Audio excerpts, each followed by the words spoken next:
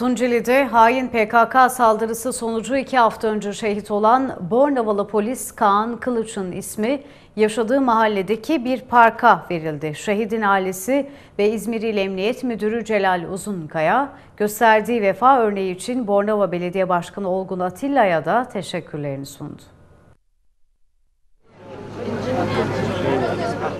23 Temmuz 2016'da Tunceli'de şehit düşen İzmir Bornavalı polis Kaan Kılıç ismi düzenlenen törenle Evka 4 mahallesinde Barbaros Caddesi ile İsa Yusuf Alptekin Caddesi arasında bulunan 5500 metrekarelik alandaki mevcut parka verildi.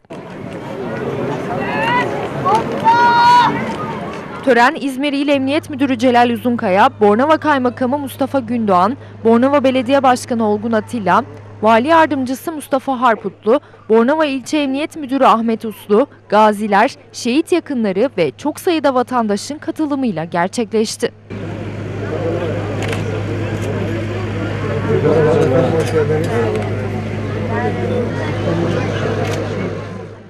Bornova Belediye Başkanı Olgun Atilla törende duygusal bir konuşma yaptı.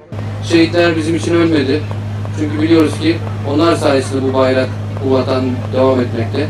Tabii ki bizim kurucumuz, bütün dünyanın saygı duyduğu büyük liderimiz Atatürk'ü, aziz şehitlerimiz de buradan saygıyla anıyorum.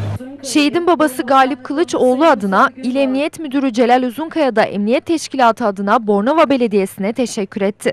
Takriben iki hafta önce şehit olan Kaan Kılıç kardeşimizin hatırasını, adını ve kahramanlığını yaşatma adına sembolik anlamı olan böyle bir park açılışı ile ilgili kararının uygulaması noktasında düzenlenen bu törende sizlerle birlikte olmaktan Emniyet Teşkilatım adına ve şehidimizin ailesi adına teşekkür ediyorum, gurur duyuyorum. değerli büyüklerim, değerli misafirler. Oğlum adına hepinize teşekkür ediyorum. Ee, bu parka açılına, açılışına vesile olan değerli başkanımız Olgun Atilla'ya teşekkür ediyorum. Çok sağ olun.